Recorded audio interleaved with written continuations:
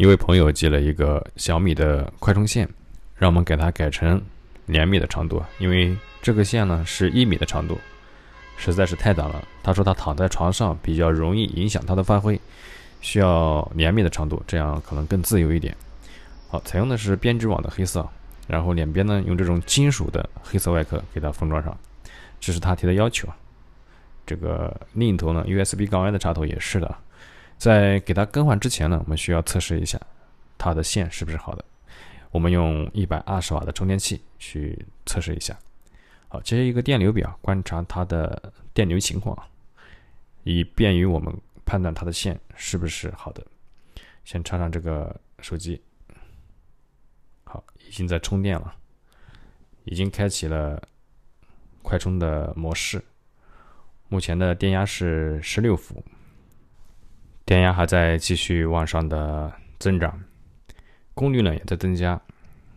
目前是八十九瓦了，啊，这个线是没有问题的。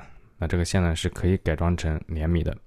我们只要确定了线没有问题，我们只需要保留它原来的两头，线是不需要的。好，我们先把线给剪了。这两头剪了之后呢，把它的外壳给剥去。剥去之后呢，我们留下它的插头来进行焊接。好，已经剥好了。接下来呢，我们在显微镜下面把这个线给焊接一下。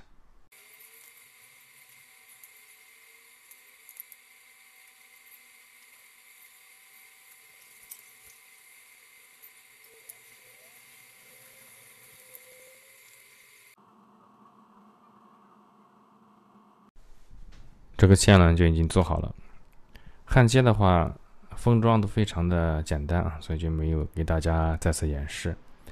直接我们来测试一下，看这个线能不能用。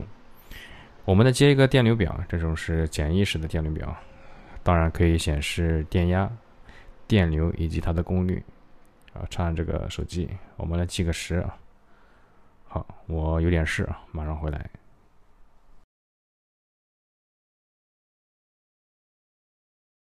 好的，总共六分钟，已经充电充到百分之六二二了。它这个电呢，充的是非常快啊，这才是真正的快充。好，这个线呢就可以回去愉快的使用了。